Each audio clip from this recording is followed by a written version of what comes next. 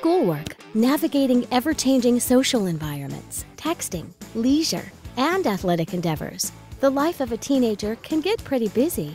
My name is Quinn McCleary and I'm 16 years old. I'm in grade 11 now and play school sports and rep soccer outside of school.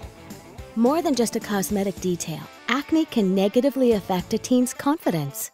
But from a clinical perspective, most cases are mild and can be prevented and treated with over the counter solutions. Most kids at the beginning, when they're young teens, and sometimes throughout their teen, because it just depends on your genetics, they'll stay in the mild class. In the past, I used to have breakouts more frequently. Well, it's my general consensus that with most of my teenage patients, they can be affected by it socially. It used to keep me from going outside. I didn't want anyone seeing me. Well, one of the first things I ask is how often they wash their face. I think the first step was getting it to do it on a daily basis because that was the hardest thing was like every single day washing your face. Most kids, most teenagers will wash their face at least once a day with a acne facial cleanser or daily cleanser. That helped with keeping the breakouts to a minimum. I think using the oxy pads helped me keep my face clean on a daily basis. It was easy, all you had to do was wipe your face down with a simple pad and they were easy to bring around with me. I could bring them in my soccer bag or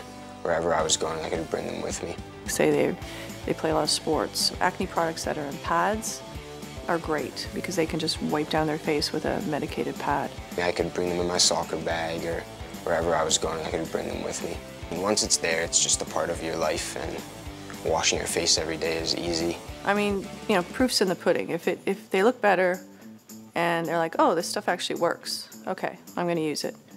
I know I'm getting the breakouts every once in a while, but I'm taking the steps to keep it to a minimum. I think the best advice is getting it into your like daily routine because washing your face every day really does make a difference. Ensure you're providing the tools your team needs to maintain a thorough skincare routine by going to betterlivingtv.ca forward slash oxy.